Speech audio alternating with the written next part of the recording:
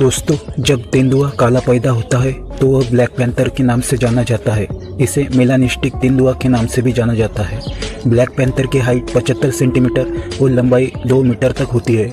आमतौर पर इनका वज़न लगभग 60 किलो तक होता है। ब्लैक पैंथर का जीवन काल 15 साल तक होता है। ब्लैक पैंथर 60 किलोमीटर प्रति घंटे की रफ्तार से दौड़ सकता है। ये शेर ज़्यादातर रात में शिकार करते हैं और ये काफ़ी माहिर शिकारी होते हैं।